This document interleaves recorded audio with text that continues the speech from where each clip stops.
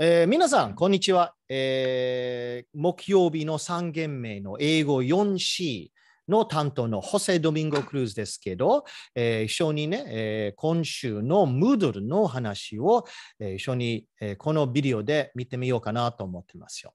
まず、えーうちのムードルはね、毎週毎週、えー確認してほしい。特に、えー授業始まる前に何か突然編集されたところがないかどうか、えー自分でも、えー忘れてる課題があるかどうか、必死でね、まだ時間があるかもしれませんですけど、その締め切り、えの前で、えすることを、え2日前とか3日前ぐらいで、え確認した方がいい。でもせめてね、毎週毎週授業の前で、確認した方がいいだと思います。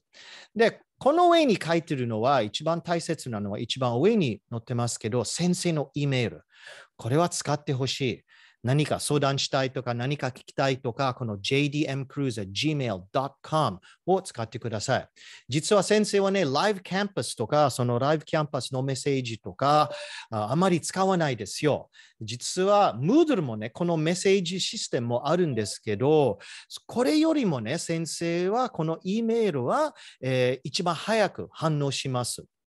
だから何か、えー突然聞きたいことがあれば、えー E メールが一番ベスト。ただ、やっぱりね、えー夜遅くとか週末ぐらいとか、先生はね、ちょっとのんびりになるかもしれませんですけど、えー日常的に先生は、その E メールを見て、すぐ反応したいと思います。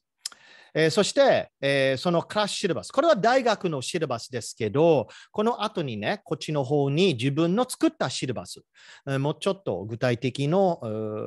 情報が書いてますけど、でもとりあえず大学のシレバスを見たいと、こっちにクリックしてください。で、これが、えー授業の前の準備の話は、えーこれは大体みんなできてると思いますけど、見てください。こっちの方の点、点点点のところはあれば、その意味はね、この課題にクリックすると、まだまだ情報を続くという意味ですよ。例えば、この点点点を見て、あ、じゃあもうちょっと見てみようと思ってる学生が、これぐらいのいっぱいの情報がね、まだ見えますよ。Okay? だから、この、えーあじゃあ、こっちに。点点点も見つかったら、えーちゃんとね、読んでください。はい。じゃあ、えっ、と、実は、えーアカデミックキャランダーはね、別に難しいところがないですけど、後期の10月のね、7日スタートで、ずーっと毎週毎週、ね、何も特別に文化の日みたいの、えー休日はなくて、ずーっとね、えこのあの11月の25日の中間テストって書いてるですけど、実はさ、後でね、練習、あの練習説明しますけど、あの、この 4C の中間テストはない。中間テストはない。特別の事情がある。ね、でも中間テストは書いてますけど、とりあえずその26日は普通の日になります。もしね、えーこ例えあのごめん、えーこっちの方の木曜日の、えー授業中で先生は風邪ひいたりとか別の事情で、え授業ができないと、私の考えてる方向の日が、えもしね、もし使うと、この2月の3日で、えー一番ね、便利じゃないですか。もうすでに木曜日。でももし、また事情によってそれはできないと、この土曜日のところでもあるから、まだ先生はね、えー検討中。で、今のところでその方向の予定は全然ない。えーそのあの11月の25日の後は、えーちょっとね、休憩があるんですけど、そして、えー11月の3週間、そして冬休み、えーそして期末テストは、えー1月の27日。えーそして、えーこの最後の10日、えー2月の10日が、その特別の、えー準備だけね、先生しますけど、多分その日はね、えー君たちに、えーあれですよ、あの課題の、残ってる課題の、えーできる、えー集中できる日を、それを特別にね、えー、きます。でも、えーとりあえず、えー期末テストは27日、えーそしてこの 4C は中間テストはない。Okay? で、ムードルに戻ったら、えーっとね、シラバスをえーこっちの方にね、クリックすると先ほどのキャランダーが出ますけど、こっちの方にシラバスがあります。そのシラバスをクリックすると、このままでね、これもダウンロードできますよ。でも、えーとりあえず一緒に見てみよう。あの、Working in Japan の3、10、11か、そして、その Listening Quizzes、Reading Quizzes、Grammar Quizzes、Writing の、えー、E メールのライティングもね、えーそういう課題があるんですけど、10%ずつ。その10%、ごめんなさい、10%ずつで、それは40%なんで、だいたいできるだけね、君たちに、えーあるところで3つの課題をもう、えー固まったりとかしないように、ちょっとスペースがあるよう、ね、のスケジュールを作りました。で、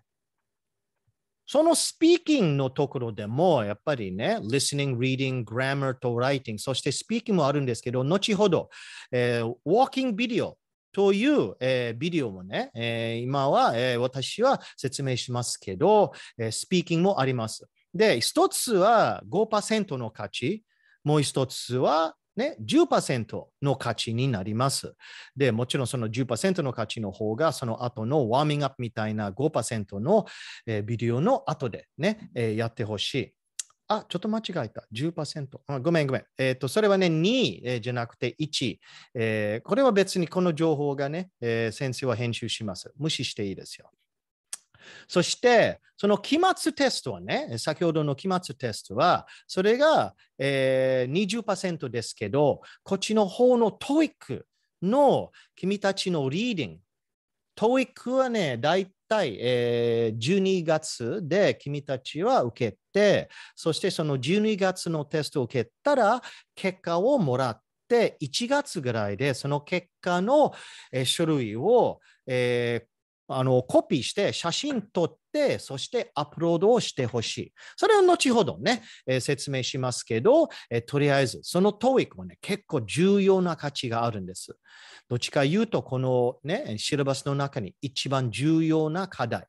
えーしかも、えー、TOEIC はね、十分難しいですけど、みんな全部頑張ってほしいですけど、その Reading の部分だけね、えー先生は受けます。OK。で、えーそれ、ムードルに戻ったら、えそこまで何か、えー質問があれば、マイク開けて、えー声を出してもいいですけど、続きましょう。ごめんなさい。えじゃあ、これがね、えーシラバスの話。そして、先ほどの Walking Video。まあちょっと見てみよう。Walking Video はね、えー、大体スピーキングといえば、先生はね、えーこの授業中でいろんな訓練とかいろんな練習もね、えーペアワークで、グループワークでやりますけど、えーその訓練を受けて、そして自分なりの英語で、ね、特別の難しいスピーチを書いたりとか、あるプレゼンテーションを暗記したりとか、それは全然必要ない。というか、してほしくない。したら、というか、ほししたらね、罰になる。罰になる。自然な英語、自分なりの英語、先生の日本語みたいにノートを使わず、ねえーこの講義はね、やっぱり自分なりにアドリブでやってますから、えー講義をね、暗記したりとか、全然しないよりも君たちと話してるように、ね、私の言いたいことがその場面で作ります。大体それぐらいの機能はみんなほとんど載ってると思いますけど、えーまだね、練習してない。だからこの Walking Video の練習で、えーそれぐらいの機能を先生に見せてほしい。えっ、とね、まず、ウォーキングビデオって何、えー、このビデオはね、一つの先生が作ったウォーキングビデオの例えだから、これを一緒に見てみましょう、えー。ちょっと待ってね、ちゃんと音声が出るように確認しますけど、音声します。OK。じゃあ、これはね、先生が作った YouTube で載ってるビデオですけど、見てみよう。ごめん、ごめん。up towards the junior high school that is just at the end of this hill. And I wanted to show you what it looks like when you're actually doing a video while you're walking. I want you to make sure that in your walking video, you can see your hands. Okay, one hand will be holding up your phone, and you have to do this on your phone. One hand will be holding up your phone, the other う。one 音声をちょっ.とね、えー小さく I す want る you。to do this in one take. 僕はね、このビデオ再生しながら喋ります。ほら見て。自分の携帯を持ちながら、えーその自撮りみたいな感じで、ビデオを撮ってます。しかも歩きながら、しかもね、えーそのカメラの、えーところを相手の目として目線をできるだけやったりとか、ジェスチャーしながら、えーその、えー自分で作った、えーコンテンツの流れを覚えながら英語で喋ってビデオを撮った。結構難しい。プレゼンテーションよりもね、これは難しい。プレゼンテーションはね、ある程度ただノート読んだりとか、暗記した部分を、えーみんなの前に読むとか、それはないですよ。えーこのウォーキングビデオはやっぱりね、ノート読んだりするとか、こけながらという、えー危険な可能性があるから、やめた方がいい。後ほどね、このやり方はね、先生教えますけど、とりあえずこういうふうにみんなやってほしい。Okay? でこれはねちょっと止めて、で、ウォーキングビデオの大切なところ、その、あじゃあちょっと小さ小さくする。The importance of walking videos。もうちょっとね、具体的な説明がこっちのビデオでもありますから、ぜひ見てください。先生はね、いっぱいビデオ作ります。このムードに載せてるビデオいっぱいありますから、全部見てください。で、なんで YouTube に載ってるというのはね、このビデオ、あーまたなっちゃった。えーこのビデオは YouTube に載せると YouTube のすごい機能があるんですよ。こっちの方の YouTube のリンクをクリックすれば YouTube に行きます。例えば、クリックして。で、宣伝が出るから、この宣伝は別にね、えー見なくてもいいから、こっちの方のビデオね、えーの部分を用意しました。で、まず、このままで再生して、で、ちょっと待ってね。Subtitles English. これ見てください。普通にね、再生しますけど。でも見て。字幕がある。この CC ボタンを押したりとか。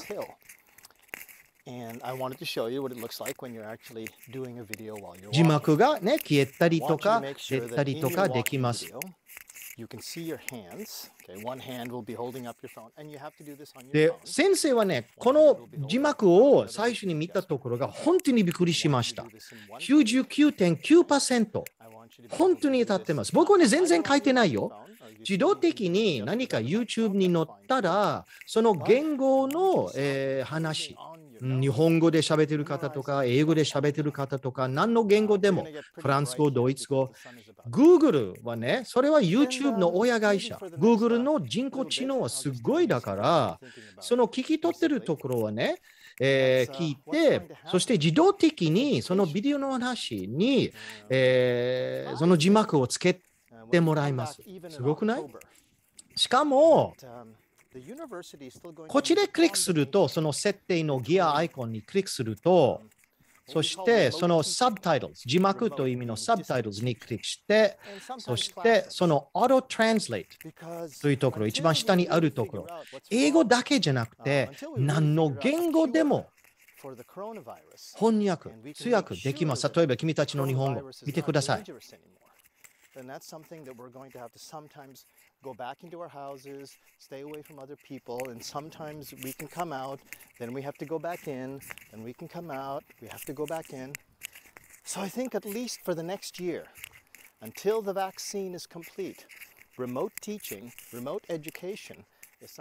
本当にすごいなと思って。だから最近ね、先生はね、自分の日本語の勉強にも YouTube を使ってます。YouTube か Netflix でも同じことできますし、えー、ブルーレイとか、えーは、えー、ホリウッド映画でも、えー、日本の漫画、えー、ごめん、漫画じゃなくてアニメでも、えー、その字幕、プラスそのあの吹き替え、プラスその字幕はね、私の英語の言語か、えー、勉強してる日本語か、もういろいろのコンビネーションで、英語でもね、日本語の勉強にやっぱりすごい役に立ちます。はい、じゃあこれはね、止まって、ムードに戻って。だから、今日のクラス1ね、このビデオも載ってます。先ほどの説明がちょっと忘れたら、この Moodle のビデオでもいいし、でもこれは直接、その YouTube subtitles。This video shows how to use YouTube subtitles、えー、というビデオでも、えー、見てもいい。そして毎週毎週この URL があるんですけど、もし Please attend って書いてると、えー、やっぱりみんな、えー、来てほしい。もし、えー、例えば期末テストで、えー、別にね、みんな集まらなくてもいいと思ったら、えー、オプションっていう、えー、単語が書いてる。はい。で、今日はね、えー、この説明で終わったらほとんど、えー、この授業が終わってるから、この課題だけありますね。課題といえば、まずね、課題ってわかるのは、このアイコンの形、この、うこの、あ